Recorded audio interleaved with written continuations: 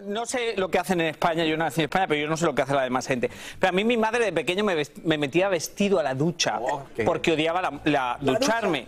Y sí que siento que es más europeo, más español. Aquí con el calor te apetece meterte en el frío en la montaña. Yo, a mí personalmente, yo no sé si alguna vez he olido mal. Puede ser, pero no pasa nada porque duermo solo. Yo siempre estoy a pero tu lado yo hay una cosa no. que me hace mucho No, chiste. A mí me encantan los caballos, yo soy hombre de campo, aunque no parezco, y a mí me encanta oler a caballo. Entonces mi sobrino hay veces que no me quiere ver porque dice, tío, es que hueles horrible a caballo. Y a mí no me importa y puedo dormir tres y cuatro días oliendo a caballo porque yo me meto y me levanto temprano para ir al caballo. Entonces, ¿para qué me voy a duchar y me voy a quitar el caballo si me vas... No sé, no, pero es una buena Perdóname, Tú dices que es algo muy europeo. No, porque no puedo representar a España, yo me represento a mí. Oh, ok, Pero yo Estás creo que esa... diciendo- Estás diciendo que Belinda es cochina, entonces. Pero es que, es que para mí lo que ha dicho Belinda lo habéis sacado de contexto. Team Belinda eres. Belinda. Ellos no me conocen. Eh, te- te voy a decir una cosa para los hombres, el pelo queda mucho mejor cuando no te lo lavas todo el tiempo.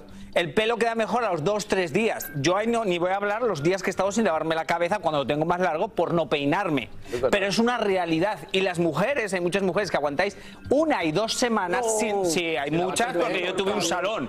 Hay que aguantan sin lavarse la cabeza y te voy a decir una cosa, lo que más huele es el pelo.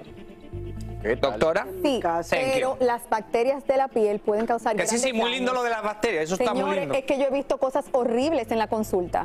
Horrible, o sea, es que me Pero- lo imaginé, me transporté. Pero doctora, ¿te lavas todos los días la cabeza? No. Ah, thank you.